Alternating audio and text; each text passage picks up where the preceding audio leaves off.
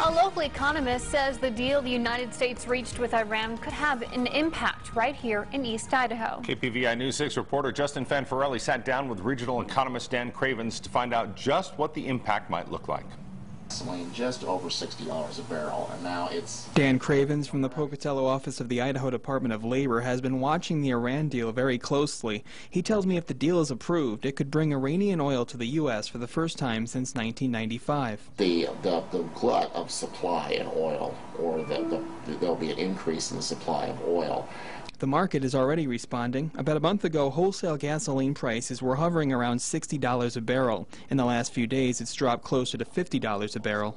If the trend continues with oil prices being, the crude oil prices being lower, that we will see uh, lower prices at the gas pump across the nation.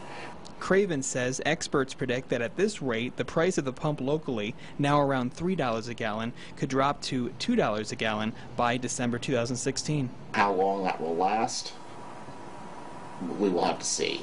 Uh, OPEC could always step in and, and, cut back production. There's a lot of factors going forward that, that could change this. The lower price at the pump would benefit consumers and could spur sales of large trucks and SUVs, but there is a flip side.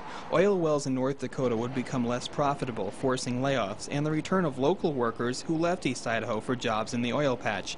That could push up unemployment, but it also might benefit local companies looking for skilled labor. I have a lot of, of technical skills, a lot of uh, you know, a lot of abilities, a really good work ethic.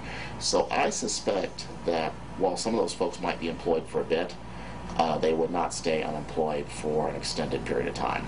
Justin Fanfarelli, KPVI News 6.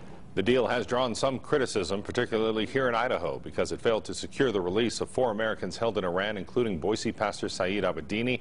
Abedini has been imprisoned in Iran since 2012, accused of undermining Iranian state security.